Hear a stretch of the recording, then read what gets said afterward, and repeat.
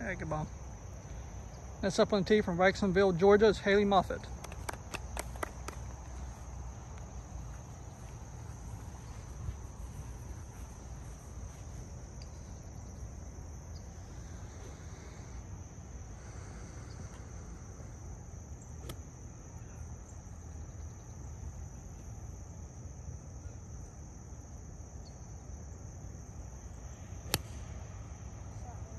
Yep, come on.